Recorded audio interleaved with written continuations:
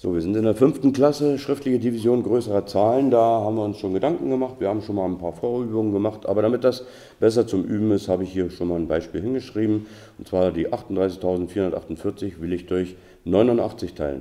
Durch einstellige Zahlen geht das immer ganz leicht.